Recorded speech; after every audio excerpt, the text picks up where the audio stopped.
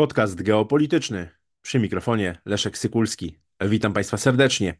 W dzisiejszym odcinku o wypowiedzi szefa Sztabu Generalnego Wojska Polskiego, generała Wiesława Kukuły, który podczas inauguracji roku akademickiego w Akademii Wojsk Lądowych we Wrocławiu powiedział, że Polskę czeka wojna. Zastanowimy się nad tym, czy rzeczywiście tak jest i w czyim interesie byłaby taka wojna. Przyjrzymy się bliżej tym słowom generała Kukuły, które są dla wielu tak naprawdę szokujące. Mm, spójrzmy także na, mm, na cały aparat państwa polskiego, na to, jak jest e, przygotowany, mimo tego, że bardzo wielu polityków mówi o tej wojnie, szykującej się wojnie. Spójrzmy na e, realne bezpieczeństwo, a właściwie niebezpieczeństwo czołowych polityków w Polsce. Mam na myśli e, różnego rodzaju asystentki, które pojawiały się i pojawiają się w otoczeniu prominentnych polityków, zarówno Prawa i Sprawiedliwości, jak i Platformy Obywatelskiej, bo przecież ukraińska asystentka Donalda Tuska to nie jest jedyny przypadek. Wypływają kolejne informacje o kolejnych politykach, którzy mieli bardzo ciekawe asystentki. O tym w dzisiejszym odcinku. E, I wreszcie temat ostatni, ale nie najmniej istotny dyrektor Instytutu Polskiego w Kijowie e, zapowiedział, że mimo wojny będzie zorganizowane, będą zorganizowane 19 dni kina polskiego i będzie e, emitowany film Zielona Granica mm, e, właśnie na terytorium Ukrainy. No, to jest właśnie poziom poziom tego, czym jesteśmy dzisiaj e, karmieni. Z jednej strony mówi się w Polsce o pełnoskalowej wojnie, a z drugiej strony mówi się o organizowaniu festiwalu filmowego na terenie, na terenie Ukrainy. No, jakaż to pełnoskalowa wojna, skoro można sobie organizować pokazy filmów całe, na całej Ukrainie, a w dodatku jeszcze tak skandalicznego filmu jak Zielona Granica, który szkaluje e, polskich żołnierzy, polskich funkcjonariuszy. To jest, e, no jest, to, to właśnie jest ten poziom kompletnego oderwania od polskiej racji, racji stanu. Zapraszam Państwa do subskrypcji mojego kanału, do wspierania go, do komentowania, lajkowania, udostępniania w mediach społecznościowych i przechodzimy do pierwszego tematu. 4 października 2024 roku Sztab Generalny Wojska Polskiego poinformował w swoich mediach społecznościowych y, o tym, że generał Wiesław Kukuła szef sztabu generalnego, wziął udział w inauguracji roku akademickiego 2024-2025 w Akademii Wojsk Lądowych we Wrocławiu. To kuźnia, nazywana kuźnią generałów, bardzo istotna mm, uczelnia wojskowa na mapie, na mapie Polski i tam padły bardzo szokujące tak naprawdę, no bardzo ważne, ale szokujące e, słowa i e, tutaj widzicie Państwo na swoich ekranach e, zrzut z ekranu właśnie z serwisu X, gdzie Sztab Generalny Wojska Polskiego chwali się tym wystąpieniem generała Kukuły i przyjrzyjmy się tej treści, bo ona jest niezwykle istotna, interesująca, ale no przede wszystkim ważna z punktu widzenia bezpieczeństwa nas wszystkich. Generał Kukuła powiedział, cytat, Transformacja jest procesem, którym zarządzamy w taki sposób, aby zmienić siły zbrojne z takich, jakie mamy dziś, w takie, jakich potrzebujemy, by wygrać przyszłą wojnę. Wszystko wskazuje na to, że jesteśmy tym pokoleniem, które stanie z bronią w ręku w obronie naszego państwa. I nie zamierzam ani ja, ani nikt z Was przegrać tej wojny. Wygramy. Koniec cytatu. Takie przesłanie szef Sztabu Generalnego Wojska Polskiego e, miał i ma dla podchorążych Akademii Wojsk Lądowych. No i tutaj e, przyjrzyjmy się tym, e, tym, tym słowom generała, generała Kukuły, ponieważ mamy do czynienia tutaj z zapowiedzią przyszłej wojny. Wprost szef Sztabu Generalnego Wojska Polskiego mówi w expressis verbis, że będzie przyszła wojna, że wojsko polskie, że państwo polskie przygotowuje się do wojny, ponieważ obecne pokolenie, obecnie żyjące pokolenie Polaków będzie tym, które stanie z bronią w ręku. No i to jest bardzo poważna zapowiedź. To jest e, pokazanie jasne, e, potwierdzenie tych wszystkich słów, które padały także chociażby ze, e, prawda, z ust wielu prominentnych polityków i urzędników państwowych, że państwo polskie przygotowuje się do wojny. Możemy się oczywiście zastanowić, o, jak, o jaką wojnę chodzi, o wojnę z kim. No to nie jest żadna tajemnica. Przyjrzyjmy się wypowiedziom prezydenta Dudy, ministra Sikorskiego, marszałka Hołowni, e, szefa Biura Bezpieczeństwa Narodowego. Możemy tutaj wymieniać bardzo wielu. Wiadomo, że chodzi o wojnę z Rosją, czy też z państwem związkowym Rosji i Białorusi. Ale, ale musimy sobie też zdawać sprawę, że ta wojna na Ukrainie, która e, trwa od 2014 roku, nie jak mówią media od 2022, jest swego rodzaju wojną zastępczą, proxy war między Stanami Zjednoczonymi czy też kolektywnym Zachodem a Rosją. E, tę wojnę Ukraina przegra, co do tego dzisiaj nikt z liczących się ekspertów nie ma żadnych wątpliwości. Pytanie, co stanie się z Ukrainą pobitą, z Ukrainą osłabioną, potężnie osłabioną gospodarczo, demograficznie, ze zniszczoną infrastrukturą krytyczną, gdzie będzie rósł nie tylko nacjonalizm, ale szowinizm ukraiński, e, z Ukrainą pozbawioną przemysłu e, i tak dalej, i tak dalej. Mamy tutaj potężny problem wynikający nie tylko z groźb, z, z, takim scenariuszem pojawienia się państwa upadłego w regionie, ale także z potężną diasporą ukraińską w Europie, w tym oczywiście na terytorium państwa polskiego. Już rządowe ośrodki analityczne wskazują na to, że Polska będzie mieć problem z tymi y, zdemobilizowanymi żołnierzami, y, funkcjonariuszami ukraińskimi, którzy powrócą, y, będą chcieli wrócić do swoich, do swoich kobiet, do swoich żon, partnerek życiowych i tak dalej, które zamieszkują obecnie kraje takie jak Polska, Niemcy, prawda, inne kraje regionu. I to jest potężny problem. Ludzie z, doświadczający PTSD, bojowego stresu pourazowego, mm, mogą, że tak powiem, zasilić szeregi zorganizowanej przestępczości transgranicznej, o czym mówią takie rządowe ośrodki jak Polski Instytut Spraw Międzynarodowych. Jeszcze raz polecam Państwu biuletyn pism numer 99 łamany przez 2024. Mówiłem o nim w jednym z poprzednich e, odcinków podcastu geopolitycznego. I to jest ten potężny problem. Pamiętajmy, że na Ukrainie pojawiają się także głosy mówiące o tym, że e, Ukraina pobita, Ukraina słaba będzie szukać gwarancji bezpieczeństwa i część analityków, także ukraińskich, wskazuje, że takim gwarantem bezpieczeństwa może być Rosja e, i pytanie, czy nie dojdzie do, jakiegoś, do jakiejś formy sojuszu ukraińsko-rosyjskiego już po e, tej przegranej przez Ukrainę wojnie. Tak to może wyglądać, to jest jeden z możliwych scenariuszy. Radykalizujące się społeczeństwo ukraińskie, radyka, radykalizujący się nacjonaliści ukraińscy będą szukać winnych, oligarchowie ukraińscy będą szukać winnych. Część z nich już teraz obarcza Polskę o zbyt małą pomoc. Mówi to e, Wołodymyr Zełenski, człowiek, któremu kadencja prezydencka skończyła się 20 maja bieżącego roku. Oskarża Polskę o zbyt małą pomoc. To już widać, że te roszczenia ukraińskie, te oskarżenia ukraińskie pod adresem Polski i Polaków nasilają się, wzrastają. Obecnie jest, są traktowane jako margines, jako przejaw pewnej, e, pewnego radykalizmu marginalnych grup, no ale konia z rzędem temu, kto jest w stanie e, dać gwarancję, że, nie, że one nie staną się częścią mainstreamu, czy częścią głównego nurtu politycznego Ukrainy po przegranej wojnie.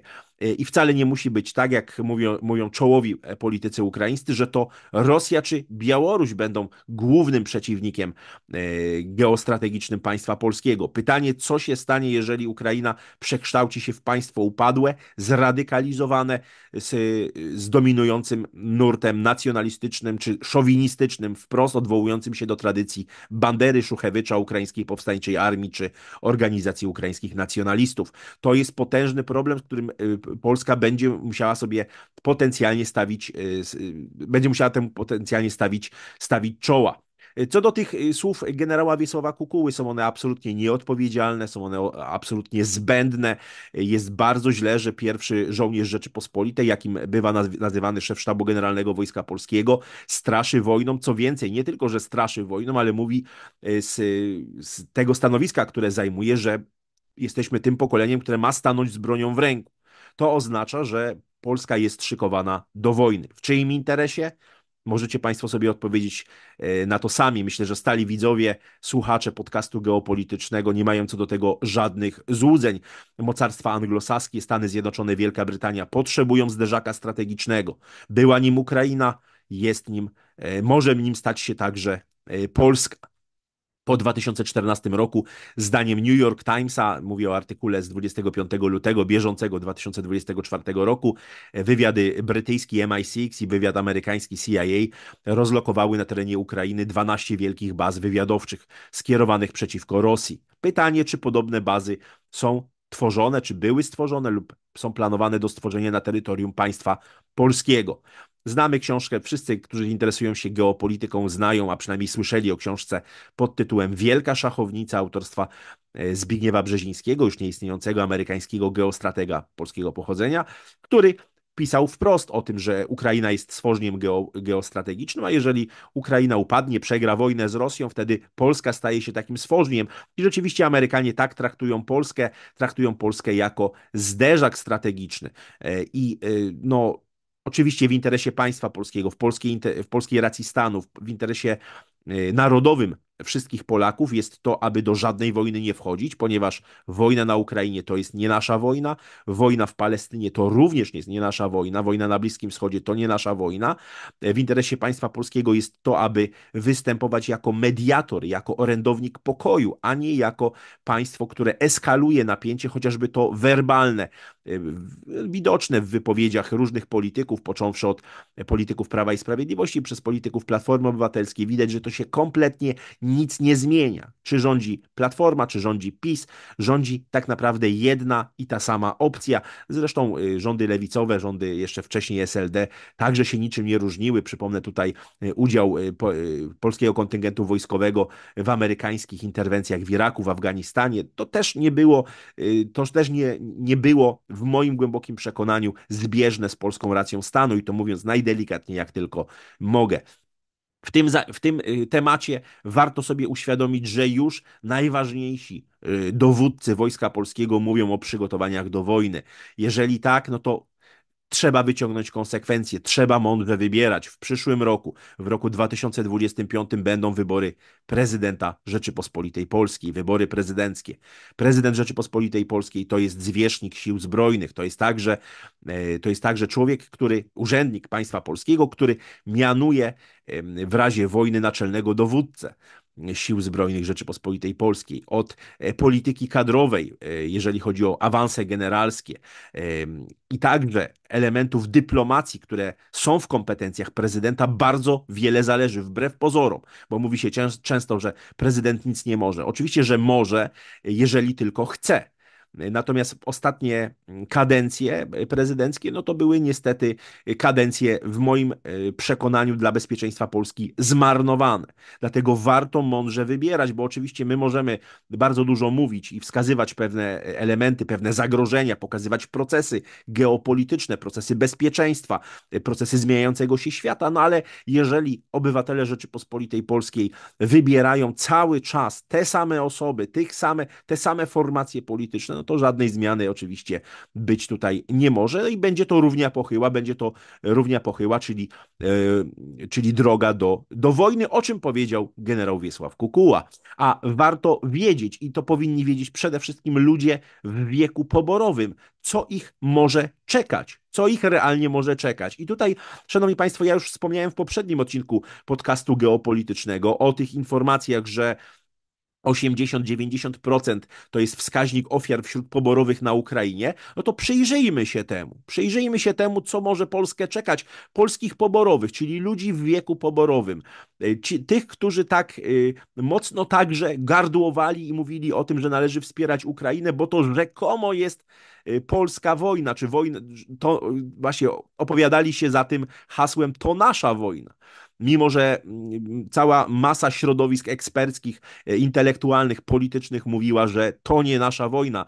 Ja również byłem w pierwszym szeregu, jestem w pierwszym szeregu tych wszystkich, którzy od samego początku mówili, że to nie nasza wojna. I spójrzmy tutaj e, na doniesienia portalu Military Watch, który cytuje jednego z ukraińskich oficerów, a jest nim podpułkownik Witalij Bereżnion. Ten ukraiński oficer mówi wprost, to jest cytat, Spośród 100 osób, które dołączyły do jednostek jesienią ubiegłego roku, pozostało 10, 10 20. Reszta jest martwa, ranna lub niepełnosprawna. Ten ukraiński oficer wskazuje na wskaźnik strat wśród poborowych wynoszący 80-90%. Mówimy o jednostkach poborowych, czyli z tych to, to pokazuje skalę Y, to pokazuje, y, do czego służy mięso armatnie. No, przepraszam za ten kolokwializm, ale, ale tak po prostu to wygląda. No, ukraińscy poborowi są traktowani jako mięso armatnie i to jest brutalna prawda. Jeżeli ktoś myśli, że E, wojna wygląda tak jak w grach komputerowych czy na filmach wojennych, że jest pełna wielkiego bohaterstwa e, i uniesień jakichś wzniosłych i wielkich sukcesów, no to niech będzie, no to jest w głębokim błędzie. Wojna to są, to są ludzie martwi, okaleczeni, niepełnosprawni, to jest katastrofa dla kraju, gospodarcza, to są, no, to jest hekatomba dla ludności cywilnej, biorąc pod uwagę warunki Yy, i właściwie nieprzygotowanie państwa polskiego do jakiejkolwiek wojny, brak systemu obrony powietrznej, brak systemu obrony cywilnej. To oznacza hekatombę ludności cywilnej. Doskonale wie o tym generał Wiesław Kukuła, mówiąc o tym, że jesteśmy tym pokoleniem, które ma stanąć z bronią e, w ręku, doskonale wie o czym o czym mówi i Państwo też powinniście już o tym, mm, o tym wiedzieć. Warto mądrze wybierać także w przyszłorocznych wyborach prezydenckich. Wypływają coraz ciekawsze informacje na temat e, różnych e, asystentek e, polskich polityków i to takich polityków z pierwszych stron gazet, z głównego nurtu, zarówno z Platformy Obywatelskiej, jak i z Prawa i Sprawiedliwości. Mówiłem Państwu na temat, już nieco na temat ukraińskiej asystentki Donalda Tuska, która e, ma rodzinę w Rosji, która w e, Rosji skończyła szkołę, która jest bardzo aktywna w mediach społecznościowych, której e, ojciec był w Armii Czerwonej stacjonującej w Polsce. No to wszystko jak skonfrontujemy ze słowami premiera i jego otoczenia o zwalczaniu wpływów rosyjskich i białoruskich, no to robi się z tego tak naprawdę kabaret. Nazywajmy rzeczy po prostu po imieniu. No ale to oczywiście nie jest jedyny przypadek. Wypływają ciekawe informacje na temat całkiem niedawno zatrzymanego przez CBA Ryszarda Czarneckiego, e, który jak się okazuje miał bardzo ciekawą asystentkę. E, miał słabość do e, młodych, pięknych kobiet. To jest jedna sprawa, jedna strona medalu, ale z drugiej strony pytanie, czy świadomie przeoczył, czy czy nieświadomie, przeoczył fakt, że w 2016 y, roku y, jego y, asystentka, pani Nadjeżda, Nadjeżda SAS, była w związku z atasze prasowym ambasady Ukrainy w Federacji Rosyjskiej z panem Olegiem Wołoszynem. Są zdjęcia w mediach społecznościowych, to nie jest jakaś wielka, wielka tajemnica, natomiast, natomiast okazuje się, że kilka lat później, w 2022 roku, pan Wołoszyn został objęty sankcjami Departamentu Skarbu Stanów Zjednoczonych. Zostały mu zarzucone zbyt bliskie kontakty z Kremlem, no a na początku 2023 roku okazało się, że według materiałów Służby Bezpieczeństwa Ukrainy pan Wołoszyn nie tylko stracił mandat posła, Y, do, do, prawda, mandat mm, posła do parlamentu Ukrainy, czyli do Wierchownej Rady, ale został podejrzany o zdradę stanu, a całkiem niedawno został już widziany z rosyjskim paszportem na balu y, w Republice Białoruś. No, ciekawą asystentkę miał mm, Ryszard Czarnecki, y, która chwali się w internecie o tym, że e, właśnie była stażystką taką w, w 2016 roku w Parlamencie Europejskim w biurze Ryszarda Czarneckiego. Pytanie, ile takich e, ukraińskich asystentek y, jest, było, jest w otoczeniu prominentnych y, polityków y, w Polsce, polityków z Polski zasiadających w Europarlamencie. Ja tylko przypomnę, mówię o tym, wiem, że mówię o tym często, ale trzeba to przypominać, że wielkie migracje to zawsze okazja dla wywiadów do plasowania agentury nielegalnej, czyli do tych oficerów często wywiadu, którzy są, y, rezydują poza placówkami. To są właśnie y, student, są podszywają się za studentów, studentki, stażystów, stażystki, dziennikarzy, Mm, różnych przedsiębiorców, biznesmenów, naukowców i tak dalej, i tak dalej. Widać, że każda migracja, widać to z wiedzy historycznej, z dokumentów, każda migracja służyła do plasowania takiej agentury nielegalnej, do rozbudowy rezydentur nie, nielegalnych. Rząd Prawa i Sprawiedliwości otworzył wrota do Polski dla kilku milionów obywateli Ukrainy. I oczywiście to jest doskonała okazja, to była doskonała okazja, jest cały czas do penetracji struktur państwa polskiego przez wywiady nielegalne, wywiad ukraiński, białoruski, rosyjski i inne, które wykorzystują sposób działania nielegałów. Co do tego nie ma żadnych wątpliwości. Wystarczy spojrzeć na te doniesienia medialne o wysadzeniu Nord Stream 1, Nord Stream 2, jak swobodnie wywiad nielegalny ukraiński działa na terytorium Polski, wywiad pozaplacówkowy.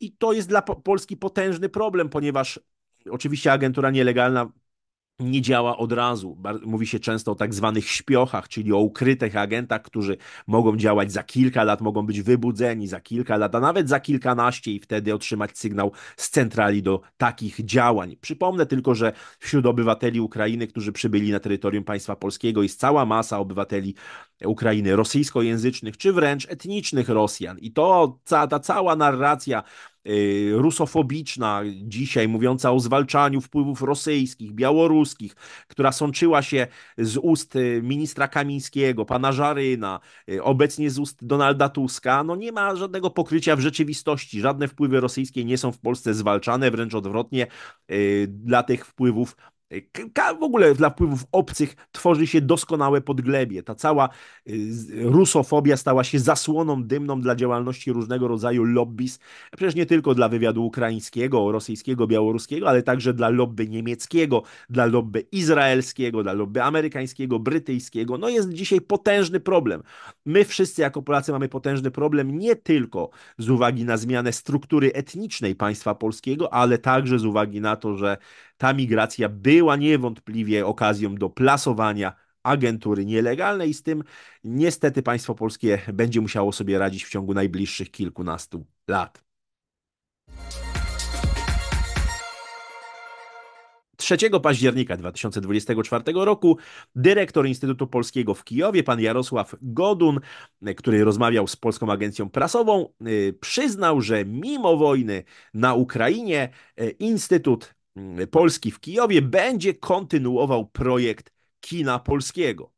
E, I tutaj e, oczywiście powiedział, że będą prezentowane filmy z różnych dziedzin, łącznie z filmem Zielona Granica w reżyserii e, Agnieszki Holland. I to bardzo ważne słowa, które powiedział, i tutaj zacytuję je. To jest cytat z pana Jarosława Goduna. Staramy się pokazywać filmy od Lwowa do Charkowa, ale też od Żytomierza do Odessy.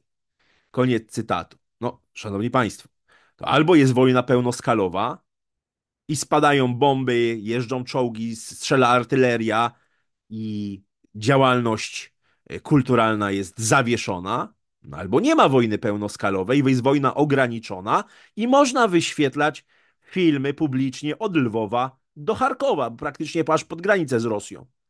Od Żytomierza do Odessy. No, to już te słowa dyrektora Instytutu Polskiego w Kijowie pokazują, że żadnej pełnoskalowej wojny na Ukrainie nie ma. Czy Państwo sobie wyobrażacie sytuację, że mm, jakiś, jakaś instytucja kulturalna spoza Polski w, okre- w 1939 roku we wrześniu wyświetla filmy od Gdańska do Zakopanego, od Krakowa, y, prawda, po Poznań? No to przecież to jest jakiś absurd.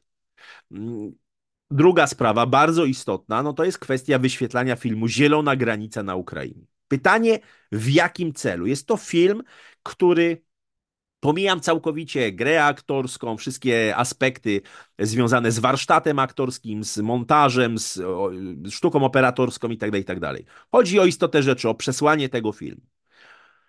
Jaki jest cel pokazywania filmu, który przedstawia polskich żołnierzy i funkcjonariuszy jako oprawców, którzy gnębią tych w cudzysłowie biednych imigrantów. Jaki jest cel pokazywania tego na Ukrainie? Jaki obraz Polski, Polaków, służb państwa polskiego jest prezentowany w państwie ukraińskim?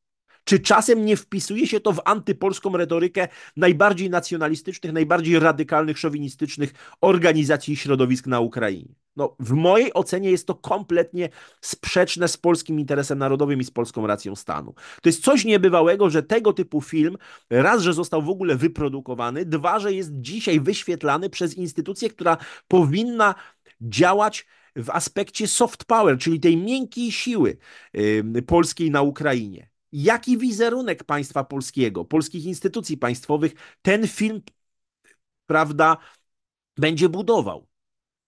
To jest coś niewyobrażalnego. Mamy do czynienia, moim zdaniem, ze albo świadomym, albo nieświadomym elementem y, takiego, powiedziałbym, wykrzywiania obrazu Polski poza granicami, e, poza granicami Rzeczypospolitej. I to jest bardzo szkodliwe, ponieważ to, tak jak powiedziałem już na wstępie dzisiejszego odcinka, będzie podbijać także negatywną opinię o Polsce i Polakach, która wpisuje się w te nastroje dzisiaj na Ukrainie, zniechęcenia wojną e, i e, no oczywiście takie nastroje też radykalizujące się z, z znacznym, prawda, pogorszeniem się jakości życia na Ukrainie. To jest absolutnie szkodliwe szkodliwe działanie. Y, no, z jednej strony można powiedzieć, że dobrze, że dyrektor Instytutu Polskiego w Kijowie mówi prawdę o tym, że nie ma żadnej pełnoskalowej wojny na Ukrainie. Znaczy, przyznaje to, no bo trudno sobie wyobrażać sytuację, że jest jakaś pełnoskalowa wojna i wyświetla się filmy, filmy od e, prawda, Odessy do Żytomierza i od Lwowa do Charkowa. Z drugiej strony, no, sam fakt zapowiedzi wyświetlania filmu Zielona Granica jest absolutnie e, torpedowaniem dobrego wizerunku państwa polskiego poza naszymi granicami. Dziękuję Państwu za uwagę.